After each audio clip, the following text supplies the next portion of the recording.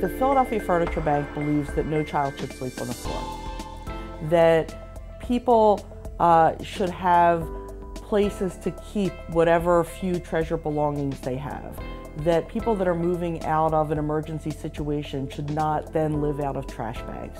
We want people to have beds. We want people to have a dining room table so that a family can sit together for a meal. And we need to be able to provide that for people in a way where they have some choice. And the Furniture Bank does that. People come, they're able to shop in our warehouse um, and, and get free beds and tables and a desk for children to do homework and a couch to welcome people into their, their new home um, and to live in a more normalized uh, situation than they were when they were in a, a shelter or transitional housing or a domestic abuse situation.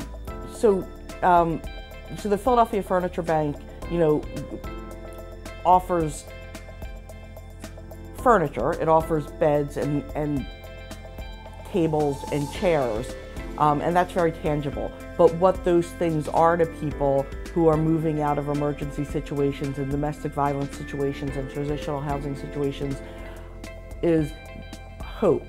It's offering people safety. It's offering people, you know, a normalized home environment. It's offering people an opportunity to move forward with their lives. My name is Frank, originally from Philadelphia, South Philly. Um, went to the Marine Corps, did a couple years with the Department of State, uh, private security. Then I came back home after a divorce. Um, that put me in a rough situation. I had a daughter and fell into some hard times. So I lost pretty much everything that I had. My favorite piece is going to be the lever recliner.